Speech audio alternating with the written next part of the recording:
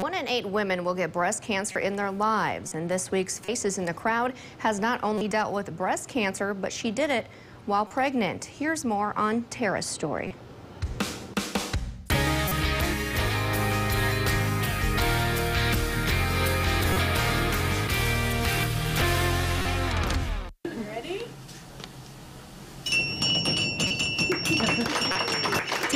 Houska enthusiastically rings the bell at Regional Health John T. Vucurevich Cancer Care Institute. It signifies the end of chemotherapy treatment and the beginning of a new hope. About a year ago, when Terra was 15 weeks pregnant with her third child, she felt a lump in her armpit. After further testing and the lump doubling in size, she was shocked at the diagnosis. The mother of two sons at the time found out she had breast cancer the same week she found out she was pregnant with a girl. What to do next was in question as the cancer was aggressive. Some hard decisions had to be made. So, being 21 weeks pregnant and finding out you have breast cancer, not knowing what the stage is because they couldn't do CT scans because I was pregnant, they couldn't um, do a lot of different of the tests because I was pregnant, and so the first thing they told me was. Um, to consider aborting the pregnancy, doing a medical abortion.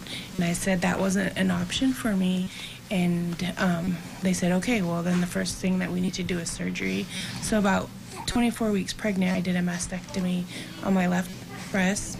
No complications. Uh, they removed the entire breast um, and lymph nodes. They removed 47 lymph nodes, and all 47 of them were positive for cancer.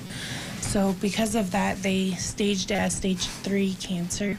They said that I needed to do treatment right away. I needed to start chemo. She began her chemotherapy in Sioux Falls while pregnant. Action needed to happen if she and her unborn daughter were to survive. She was forced to be brave, not only for herself, but also for her family. I was like, I have to beat this. I have to get through this because I have a little girl growing inside me. I have two boys at home that I need to be strong for. So I had to kind of suck it up and you know, even for my family, they took it a lot harder than I did and trying to be strong for them too. She walked away from this life changing experience learning a few lessons, like don't wait for tomorrow to get something done and to be proactive in your own health.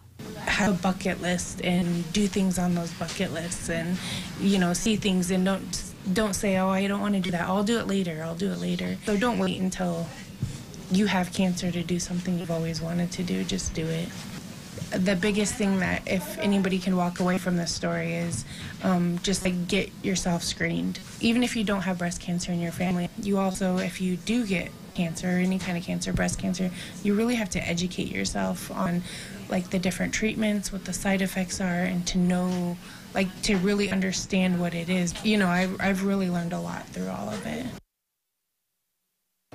And Terra still has treatments ahead of her and plans on having a mastectomy done on her right breast as well. She credits the support of the community, family, and friends for getting her through those tough times. And if you'd like to nominate someone to be featured in our weekly Faces